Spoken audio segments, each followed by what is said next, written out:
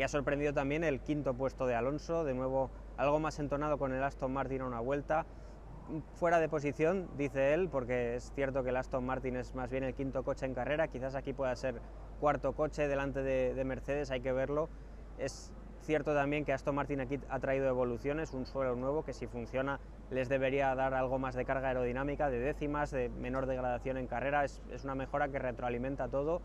Así que quizás lo más importante es comprobar que el Aston Martin mejora cuando le meten piezas nuevas, que eso es algo que el año pasado no sucedió del todo pero habrá que verlo. En cualquier caso, buena cara de Alonso, buena cara de Sainz, cuarto y quinto.